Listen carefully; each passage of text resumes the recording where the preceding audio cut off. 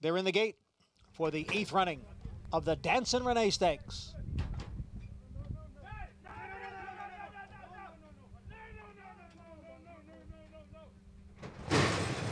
And they're off.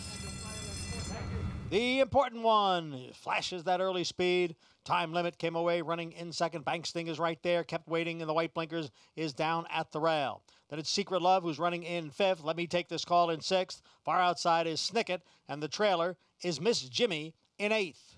The important one leads here by a length. The favorite Bank Sting is in second by a half length.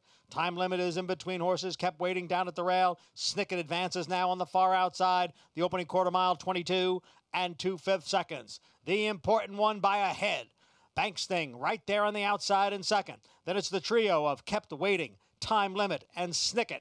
A break of three to Secret Love at the back of the pack. Miss Jimmy and Let Me Take This Call. Here is Bank Sting to move right alongside of the important one after a half mile in 45 and 4 fifth seconds. It is Bank Sting now to take over from the important one. Time limit is third. Kept waiting is down at the rail. And Snicket. And it is Bank Sting who is opening up here. Passing the 16th pole, Bank Sting with a five length lead, and she was sharp today. Bank Sting wins the Dancin Renee Stakes in 1 minute 10 and 4 fifth seconds.